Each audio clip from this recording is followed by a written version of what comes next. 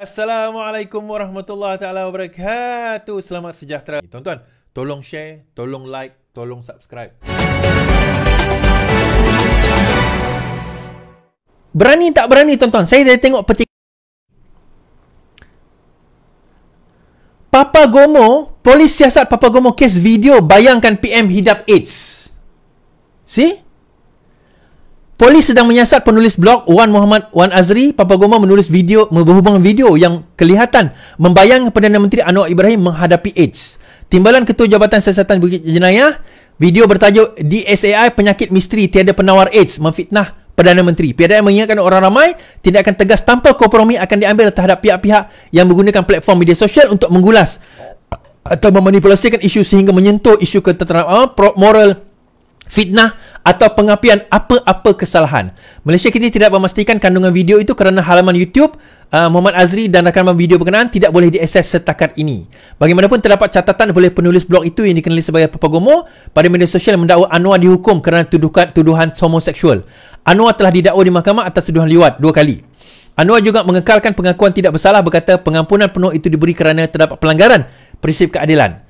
Menurut Rusdi, Wan, uh, Wan Muhammad Azri disesat mengikut Seksyen 14 Akta Kesalahan Kecil kerana berkelakuan menghina 504 kerana menghina dengan sengaja menceroboh keamanan dan 23, 233A komunikasi penggunaan tidak wajar rangkaian dan perkhidmatan rangkai, rangkaian. Baik. So, yang ni Video ni tuan-tuan Ni nak cerita. Video yang yang Papa Gomo Video ini Sebenarnya dah dihantar Dua minggu lepas kalau tak silap saya dan cerita ini dah diulang bulan lepas. Siasatan baru berlaku ni. Kenapa? Bukan polis lambat ambil tindakan. Sebab kita lambat buat laporan. Kita tak ada orang. Eh, sikit bagi orang lain. Itulah isu dia. Kalau tuan-tuan yang baca, tak boleh orang lain buat laporan tuan-tuan. Sebab tuan-tuan yang baca. Dalam laporan tu akan menulis bahawasanya saya, nama sekian, alamat sekian, nombor IC sekian, telah melihat posting dia tulis oleh si Fulan di laman sekian. Sebab nanti tuan-tuan akan dipanggil menjadi saksi. Aku tak nak jadi saksi is. There you go. Itulah isu dia. Tuan-tuan tak boleh bagi pada orang lain harapkan orang itu buat report polis. Tak. Tuan-tuan yang melihat posting itu kena buat laporan polis. Ambillah inisiatif tuan-tuan. Video ini saya tahu tersebar dah lama dah. Dia ada satu video dia tunjuk masa Apex. Salah salah Apex ke sebelum Apex? Yang mana Datuk Seri masa tu bergambar, tangan dia pada masa tu nampak crooked. Ialah mungkin orang tua ada sakit. I don't know. Mungkin gambar tu distort ke apa. I don't know. Tetapi tangan dia nampak crooked lah. Crooked. Faham crooked tak? Macam membengkok macam tu. Kan? Macam membengkok macam tu. Kalau tuan-tuan nampak tangan imuda, ah, lebih kurang macam tu. Mungkin juga kamera trick atau mungkin dia yang pergi edit. Kita tak tahu. Tetapi dia kata tengok. Disebabkan tangan itu ini tanda-tanda orang AIDS. Kenapa AIDS? Sebab dia homoseksual. Kan? Dia kata macam tu. Now, video itu tersebar. Orang main video tersebut. Terbaru Salim. Salim pun dipanggil polis. Telah menginterview. Ha, dikatakan menginterview. Ha, okay. Seorang banduan katanya. Kan? Dan banduan itu katanya berada sama dengan Anwar Ibrahim di dalam penjara ha, di dalam penjara tersebut dan dia menjadi budak suruhan Anwar Ibrahim katanya. Kan dia menjadi budak suruhan Anwar Ibrahim. Kemudian ramai yang percaya sampaikan keluar perkataan apa tuan-tuan? Planta. Now bila tuan-tuan kata planta bermakna tuan-tuan telah mengatakan Anwar liwat di dalam penjara kalau anda Islam bermakna anda sekarang telah melakukan qazaf. Anda menuduh tanpa bukti menggunakan perkataan pelantar dengan peras, dengan pemahaman itu, maka tuan-tuan, menurut hukum kazaf adalah seorang yang fasik. Hukumnya berdosa besar. So, apa yang berlaku? Saya ada satu video yang saya interview. Kan? Saya interview siapa tuan-tuan? Saya interview tidak lain tidak bukan bekas warden penjara. Bekas warden penjara yang uh, yang menjaga Datuk Seri Anwar Ibrahim ha, yang yang apa orang kata yang menjaga Datuk Seri Anwar Ibrahim selama 2 tahun di Hospital Sungai Buloh. Eh, sorry, di penjara Sungai Buloh.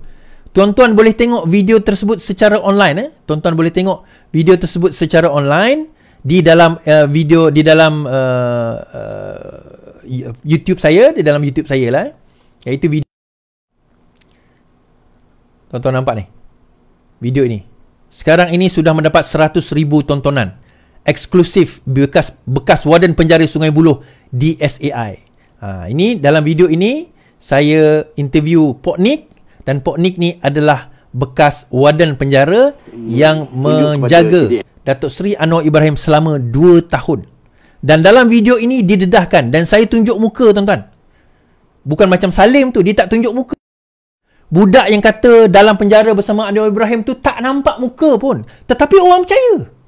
Ni saya bawa dengan Pok Nick ni duduk kat Kelantan, dia dia cerita ada muka dia. Siap saya tunjuk kad warden penjara dia lagi. Si ada semua kad warden penjara, gambar dia dengan Anwar Ibrahim. Semua ada. Masa ada Datuk Seri Anwar menikahkan Nurul Izzah, dia dekat belakang Datuk Seri Anwar Ibrahim. Dia ada. Dia adalah saksi hidup sewaktu Datuk Seri Anwar di dalam penjara dan dia yang menjaga. Tetapi, orang lebih percaya fitnah daripada kebenaran. Kerana apa? Kerana mata mereka telah ditutup, telinga mereka telah dipekakkan dan mulut mereka telah disumbat dengan kejahilan.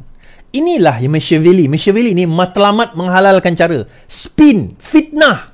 Dan mereka percaya. Mereka percaya.